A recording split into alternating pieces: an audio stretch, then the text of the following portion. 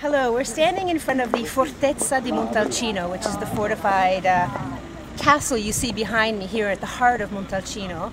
And we are just about to enter the tasting of the 204 Brunello di Montalcino. This is the first time the journalists are really given a chance to taste the wines. You can see my colleagues um, walking up the ramparts to get inside. And uh, a year ago, this region was rocked by a major fraud scandal in which uh, many of the big producers were accused of adding grapes such as Merlot and Cabernet that are not allowed in the production of Brunello di Montalcino into those wines illegally. So uh, we're very curious to uh, taste the wines today and see what they see what comes out and uh, to see the atmosphere of what what the producers are saying and how the journalists are reacting one year after this uh, this unfortunate scandal.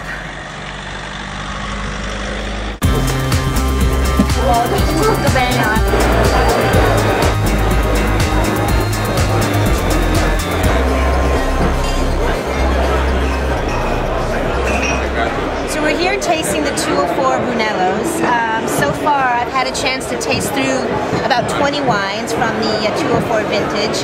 And uh, what I found so far is interesting because I'm really getting a sense of Sangiovese here. I'm getting a sense of um, wet earth, pressed violets, uh, bright cherry, a lot of the aromas that you would typically associate with Sangiovese. And that's interesting only because I find these wines different than past vintages.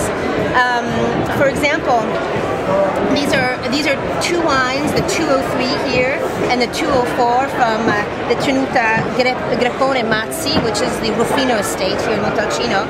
You can already see from the color, the 203 is much darker and uh, more saturated, and the 204 is a little bit lighter and a little bit more vibrant in color. And you really get a sense of jammy, jammy cooked fruit here. It's not overwhelming, but it's definitely present. And with the 204, um, it's just a more linear and more elegant expression of Sangiovese. 2004 was what we like to consider to be a very classic year. Uh, it was a year where we had, finally after several years of unusual climate, where we had hot summers, cool summers, dry summers, sometimes too much rain and uh, in the spring. In 2004, we had sort of the perfect storm of conditions. We had a good rainy spring, which allowed for the grapes to, uh, the soil to hold on to a lot of the uh, water reserves so that during the hot summer it would be able to release them and gradually the vines wouldn't suffer any hydric stress. The other most important factor of the 2004 vintage was that we had the perfect balance of very hot days and very cool nights. That's what is so crucial in wine country. It it's what makes real wine country uh, the best uh, conditions for, for, for great wines. Hi, I'm here with uh, Tiziana Frescobaldi, Hi, Frescobaldi, hello, hello, at the beautiful uh, Castel Giocondo in uh, Montalcino.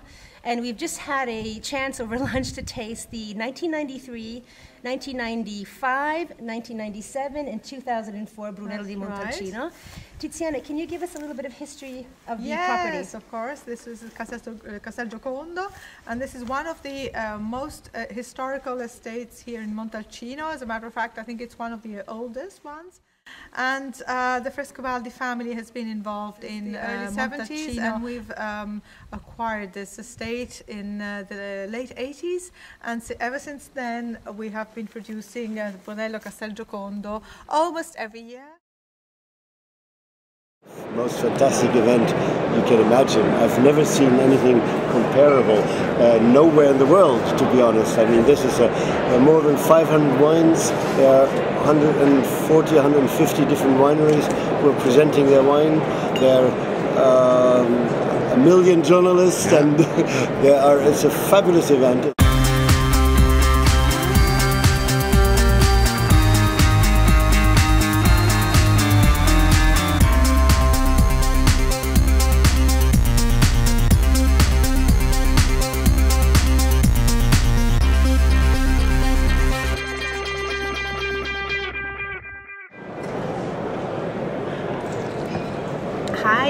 Italian editor with Wine Enthusiast. We're here at the Stazione Leopolda, which is an old abandoned railroad station in the heart of Florence. um, attending the Anteprima of Chianti Classico. Uh, it's an annual event. It's very exciting. We have uh, 350 producers of Chianti Classico present. Um, they've brought us all of their wines, uh, 208 and Anteprima, 207s, 206s, and reservas that go all the way back to, actually there are a few examples of 201. Um, we've been very fortunate this year because we have a couple of very good vintages to taste and uh, it's a very exciting time. This is the biggest event in Tuscany for uh, for these wines, and uh, since 30% of Chianti Classico is sold in the United States, it's an exciting time for us in the States as well to kind of get our first taste of these wines. After two fabulous vintages such as 2006 and 2007, unfortunately 2008 has had a bit of uh, problem uh, with um, a little bit of hail, unfortunately. but that's, you know, it's something that is hurt some vineyards, but not all long. So, in terms Nice. of quantity, is not going to be huge. Yeah. That's what I'm going to say. You know, in spite of difficulties that are so obvious at this moment, in terms of quality, I think it's um, really moving. Producers are really moving together, and you know, this kind of events help a lot. Moving together in the sense of quality, there's sort of there is a more unity than there has been in the past, uh, quality-wise. So searching a little bit more the same direction. Perfect. Perfect. Thank you. Thank We're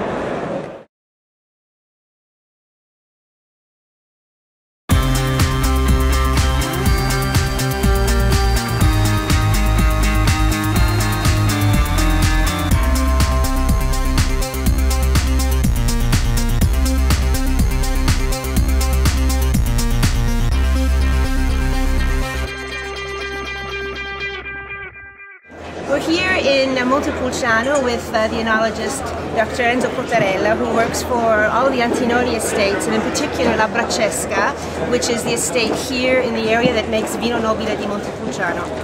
Dr. Cotarella, how are the vintages that we can wait for in the United States, the coming, the wines coming to the U.S.? 2006, 2007, 2008. Even if, I mean, now you are going to receive 2006.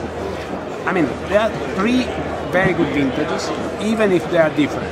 2006 is more balanced. 2007 is rich, full, plenty of aroma, really a wonderful vintage. In my opinion, maybe the best of the last 30, 40 years, even better than 97. 2008 is a particular vintage. When you say particular, sometimes you say means no so and so. No, particular because the mm, uh, temperature and the climatic condition during 2008 has been very peculiar. And now 2008 is a wine with a lot of aroma, a lot of intensity, a lot of vibrancy. So it's really, I mean, what it's the wine I like as Sangiovese because maybe it is not it is not so rich as 2006 and 2007. Maybe it's a little bit more acidic, but it has this it has this vibrancy, this uh, this nervosity, you say, and it's a wine really that push, push and push. I like very much. So we have good things to look forward to. Yes, we are lucky because in a difficult period, in a certain sense, in a global crisis, we have three vintages from Tuscany that are wonderful. 2006, 2007, 2008, we never had.